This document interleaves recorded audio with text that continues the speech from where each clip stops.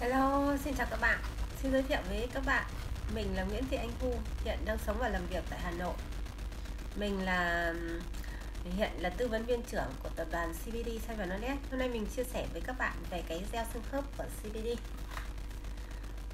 Đây mình chia sẻ với các bạn về cái gel xương khớp của bọn mình Ừ. Gel xương khớp này Nó có cái tác dụng là nó nó làm giảm đau nó làm làm giảm đau hay là làm uh, nhanh liền các vết vết thương. Cũng như là nó có cái tác dụng là nó kể cả dị ứng hoặc là côn trùng cắn. Bôi cái này cũng rất là hiệu quả.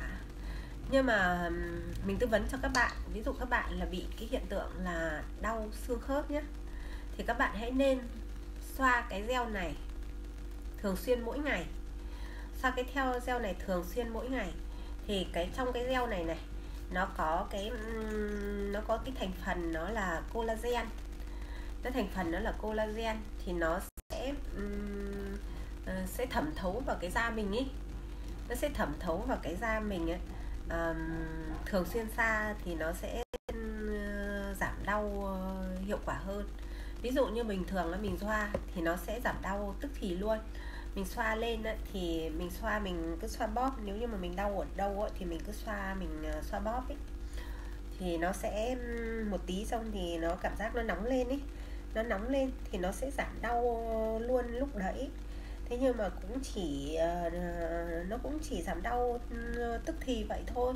Thế nhưng mà nếu như mà bạn đã bị đau nhiều rồi ấy, thì bạn hãy xoa thường xuyên mỗi ngày thì à, cái thành phần à, cái gel này nó có cái thành phần collagen thì nó sẽ thẩm thấu vào trong cái xương khớp của mình ấy thì nó sẽ nó sẽ tốt hơn. Nó sẽ duy trì được uh, lâu dài hơn. Nhưng mà dù uh, cái này nó cũng chỉ là bên ngoài thôi nó cũng chỉ là trợ thời bên ngoài thôi. Còn nếu như mà các bạn có vấn đề về xương uh, xương khớp thì các bạn phải bổ sung canxi cho nó phải bổ sung canxi bổ sung closamin xương thì phải thường xuyên bổ sung canxi, còn khớp thì phải có, bổ sung closamin và cholotin nó phải từ bên trong nó ra, còn bên ngoài cũng chỉ là tức thì thôi.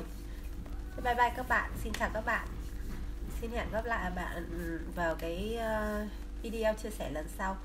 Cảm ơn các bạn đã lắng nghe mình chia sẻ. Nếu như mà các bạn thấy video của mình có ý nghĩa thì hãy like và comment cho mình. Xin cho rồi cần mua điện à, nếu như mà các bạn cần mua hướng dẫn à, mua sản phẩm của công ty thì hãy liên hệ với mình theo số điện thoại 0977 999 466 mình sẽ hỗ trợ ờ, cho các bạn.